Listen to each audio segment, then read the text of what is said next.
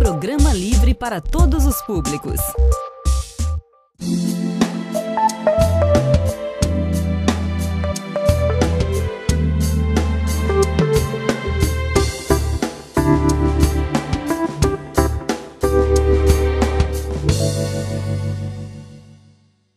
Olá pessoal, bem-vindo ao Doctor Entrevista.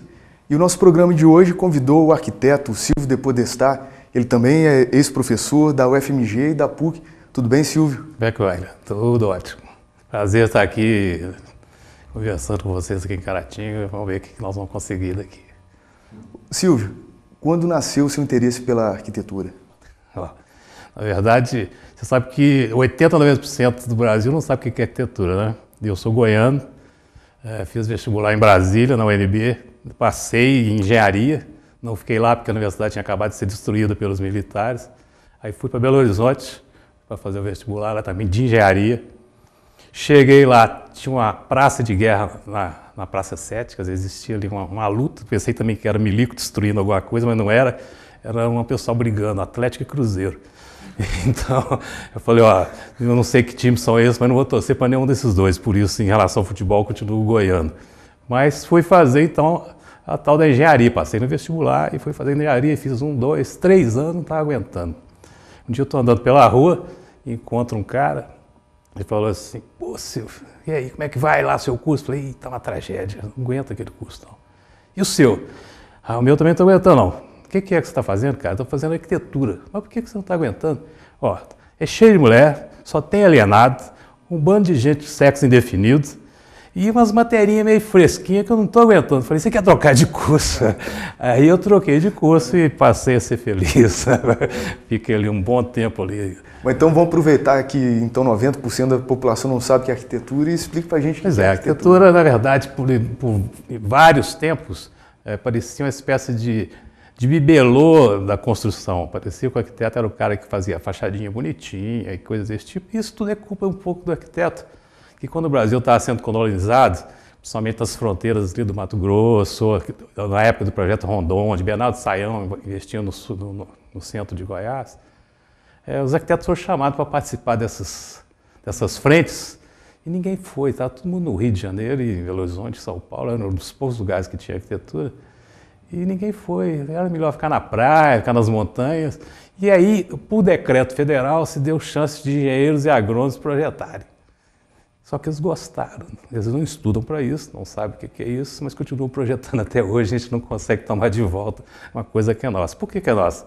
Porque você estuda para isso. Então, existe um slogan que é muito correto, que é assim, projetar, para projetar, contrato arquiteto. Para construir bem, chama o engenheiro. E essa é o mote da história. Na verdade, isso não acontece. Então nós temos um problema que isso ocasiona. Cidades horrorosas, como por exemplo a sua cidade aqui, cada dia fica mais feia.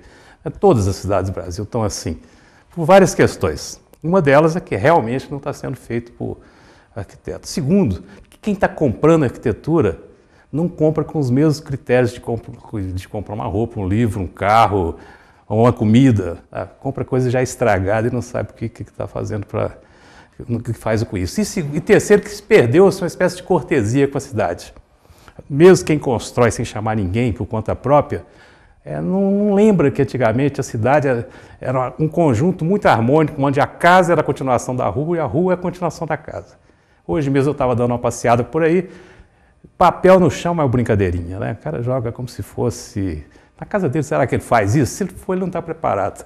E outras questões que você vai vendo né, de, que fazem parte desse enfeiamento. Então, eu acho que uma educação geral seria muito importante e delimitar realmente quem são agora os culpados de tragédias tão grandes como esse enfeiamento das nossas cidades. 50% eu já delego ao, ao, comprador, ao usuário, que não sabe nada de que está fazendo, nada de que está comprando.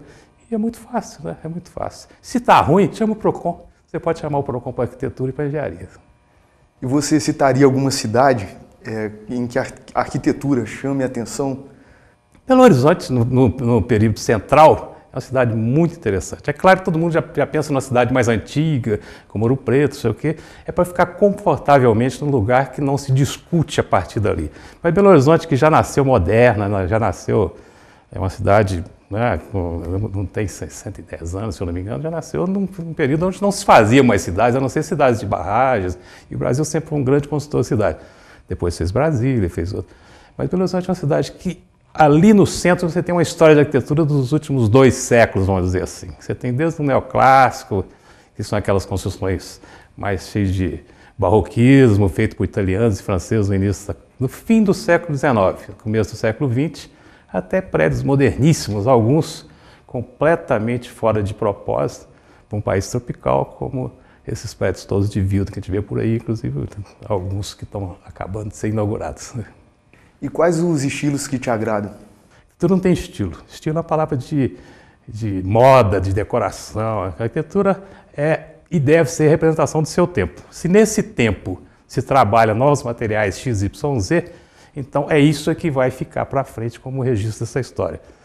As pirâmides são registros de uma história porque se fazia pirâmides naquela época, a custa não sei de quê, para poder enterrar uns faraós. Se fizesse pirâmide hoje, a não ser algumas de vidro na frente do Louvre coisas desse tipo, não teria sentido fazer daquela forma. Então, ela conta um registro daquela época, como arquitetura, em alguns pontos, neoclássica francesa, arquitetura. e vai por aí. Esses tipos de arquitetura são mais fáceis de, de ser compreendidas, por isso chamadas de estilos ou de época, porque elas realmente começavam e terminavam. A partir de um discurso aí da década, começo do século XX, por exemplo, onde o modernismo realmente se concretizou, existiu a partir daí um discurso mais libertário, você pode ir para várias frentes. E isso é importante. Por quê? Sai a arquitetura dogmática, que é feita igualzinho em todos os lugares. E você passa a fazer arquitetura, ou pelo menos deveria passar a fazer arquitetura, incorporando a coisa mais importante que a arquitetura incorpora, que é a cultura do lugar. E a cultura do lugar em todos os sentidos. A cultura física, do clima, do sol, da paisagem, a cultura do povo, a cultura de como que você se conduziu, a cultura da terra, da topografia. Quer dizer, tudo isso aí é um mote para que você tenha aí subsídios para construir alguma obra que seja chamada arquitetura.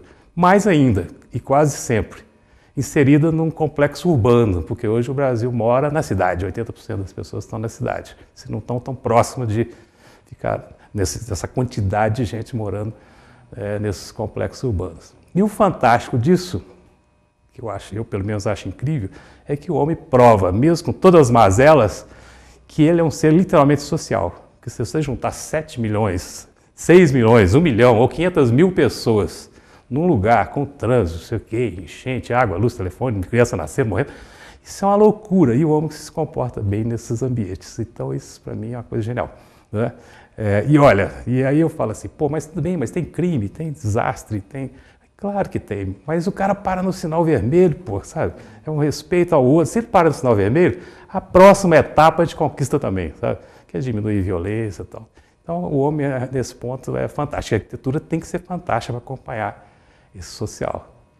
Ô Silvio, então no próximo bloco eu quero saber no que a arquitetura pode então influenciar no comportamento, na organização né, das pessoas na, na cidade. E eu conto com a companhia de vocês aí. Música